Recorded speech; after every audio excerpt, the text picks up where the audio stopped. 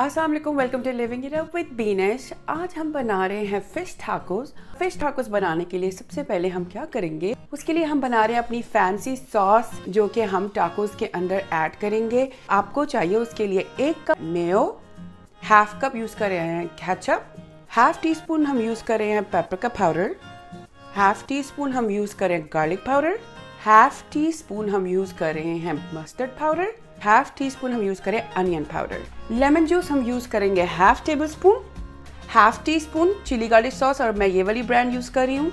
आप कोई सी भी ब्रांड यूज़ कर सकते हैं चिली गार्लिक सॉस की. मैं सरियाचा सॉस यूज़ कर रही हूँ हाफ़ टी स्पून और हाफ़ टी स्पून ही हम ये रेड हॉट सॉस यूज़ कर रहे हैं. आप हॉट सॉस भी यूज़ कर सकते हैं इसकी जगह. हाफ़ टी स्पून हम यूज़ करें वूस्टरशेयर सॉस बहुत इजी सी रेसिपी है। आपने सारे इंग्रेडिएंट्स को कर लेना है मिक्स पहले हम डाल लेते हैं अपने dry ingredients lemon juice half teaspoon chilli garlic sauce half teaspoon sriracha sauce half teaspoon हम यूज़ कर रहे हैं रेड हॉट लास्ट हमारा है इंग्रेडिएंट ये क्या? हाफ़ टी स्पून अच्छे से आपने सारी इंग्रेडिएंट्स को इनकोऑपरेट कर लेना है। फैंसी सॉस तैयार हो गई। आप इस सॉस को किसी भी चीज़ के साथ यूज़ कर सकते हैं। लाइक श्रिम टेम्पूरा और फ़िश टेम्पूरा कोई फ्राइड चिकन अपने चिकन रैप्स में या बरीटोज बनाने में भी यूज़ कर सकते हैं। आप इसको ट्राई करें, आपको बहुत पसंद आएगी।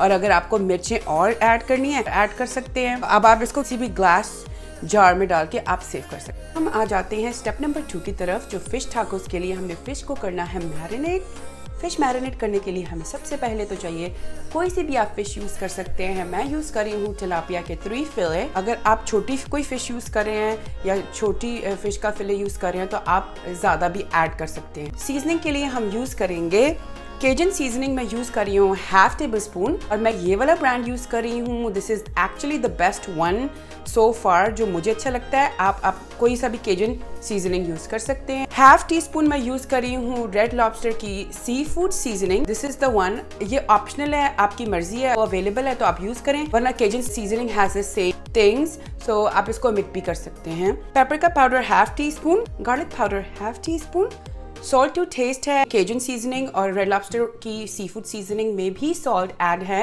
सॉल्ट को हम हसबे जायका ऐड करेंगे, अगर ज़रूरत पड़ेगी तो ऐड कर लेंगे।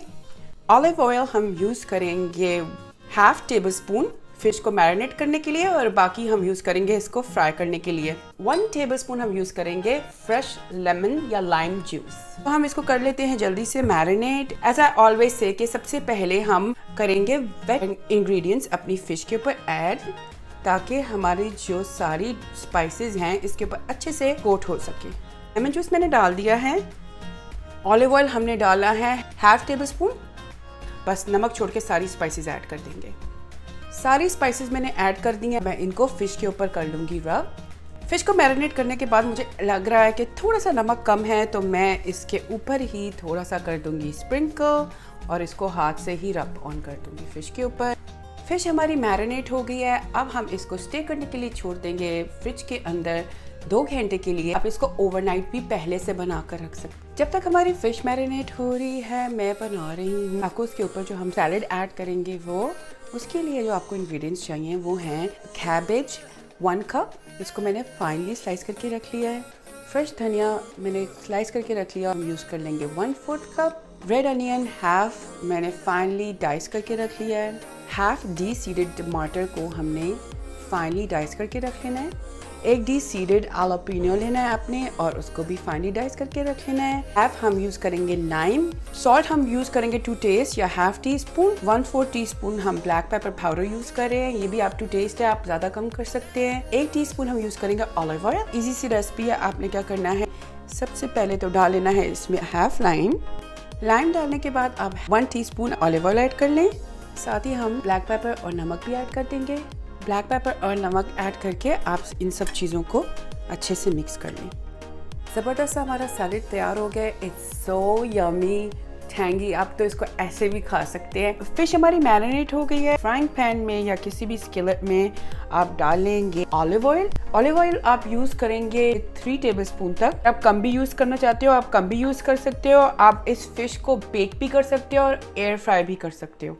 ऑयल गर्म हो जाए तो आप ऐड कर देंगे मैरिनेटेड फ़िश हाई फ्लेम के ऊपर आपने फ़िश को फ्राई कर लेना है। एक साइड हो जाए तो आप टर्न करके दूसरी साइड भी पका लें।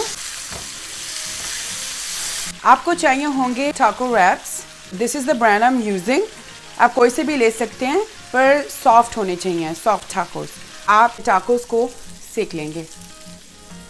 आपने इनको बर्न नहीं करना, सिर्फ़ इतना कर लेना है कि ये थोड़े से नरम हो जाए। फ़िश हमारी रेडी हो गई है। मैं इसको करने लगी हूँ डिश आउट ये देखें। फ़िश मैंने डिश आउट कर ली थी थाकोज मैंने थोड़े से सेक लिए थे, अब हम इनको असेंबल करेंगे। का पीस उठाना है। टूटा भी हो तो चलता है। कितनी जूसी फ़िश बनी है एंड स्मेल्स ग्रेट हम डालेंगे फैंसी सॉस अपनी मर्ज़ी के मुताबिक आप डालेंगे, फिर हम डालेंगे। सैलड जो हमने बना के रखा था, फ़िश को कर देंगे और ऐड। सैलड दोबारा से इसके ऊपर ऐड कर देंगे। लगा देंगे थोड़ी सी इस पर हम सॉस। अगर आप चाहें तो आप इस पर फ्रेश लाइम जूस स्क्वीज कर सकते हैं। इसको और भी टैंगी मज़े का बनाने के लिए। इसी तरह आप बाकी के भी रैप्स फिल कर लेंगे। इसको सर्व करने के लिए मैं साथ में लाइम रख रही हूँ। इस तरह टाकोस आपके फोल्ड भी रहते हैं। और सर्विंग भी प्यारी सी लगती है। अरे, ज़बरदस्त से फ़िश टाकोज रेडी हो गए हैं। आई होप आपको ये रेसिपी पसंद आएगी। और अगर आपको ये रेसिपी पसंद आए please I can subscribe to living it up with Pinash until then enjoy your barbecues Allah hafiz